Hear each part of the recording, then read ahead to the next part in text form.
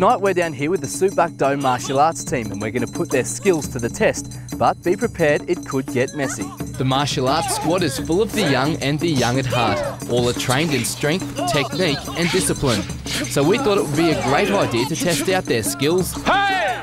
Three volunteers, please. by seeing what they could do with watermelons, all weighing more than 15 kilograms. First up, the roundhouse kick. And the crowd approves. Next up, the chop. Again, it's no match. Just need to make a watermelon hat now. The watermelons couldn't take a punch either.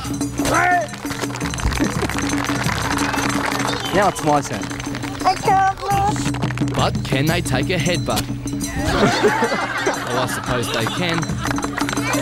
But only from a melon head. Well, it's gonna hurt.